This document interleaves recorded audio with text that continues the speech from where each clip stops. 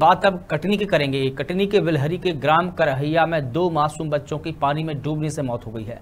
करहैया ग्राम के मुरम खदान के गड्ढे में पानी भर गया था, जिसके कारण दोनों बच्चे उस गड्ढे के पानी में नहाने गए थे। इसी दौरान बच्चे पानी में डूब गए और उनकी मौके पर ही मौत हो गई। बच्चों के डूबने की जानकारी जैसे ही ग्रामवासियों को लगी तो गाँव में मातमसा छा गया। बच्चों के शव को निकालकर जिला हॉस्पिटल में पहुँचवाया है, जहाँ उनका पोस्टमार्टम किया जाएगा।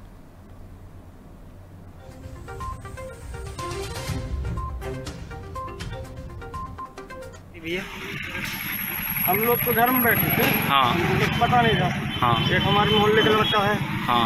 वो गया उसको पता चला जैसे कि खत्म हो गया तो लड़के पानी में डूब गए। तो आज घर में हमको बताया। जब हम वहाँ पहुँचे तो वो जो हमारा भांजा आनंद उसको बाहर निकाल लिए थे लोग।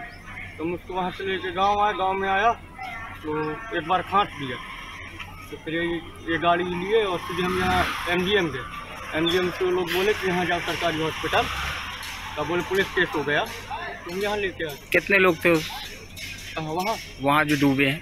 दो बच्चे। दो बच्चे दो बच्चे पानी में डूब मर गए। ये कहाँ की घटना है? ये मतवारी में। तो ये क्या नहाने गए थे कि ऐसे ही? खदान थी ना एक। खदान खोद रहे थे। काहे की खदान थी? ये मुरम मुरम किसकी खदान है? ये खदान है।